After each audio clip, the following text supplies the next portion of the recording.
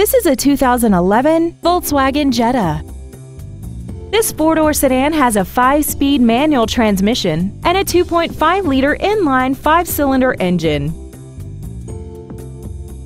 Features include traction control and stability control systems, air conditioning, external temperature display, side curtain airbags, and this vehicle has less than 24,000 miles.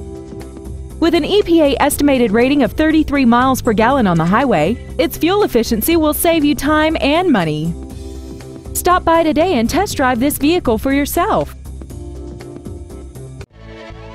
Champion Ford Gulf Freeway is dedicated to doing everything possible to ensure that the experience you have selecting your next vehicle is as pleasant as possible. We are located at 12227 Gulf Freeway in Houston.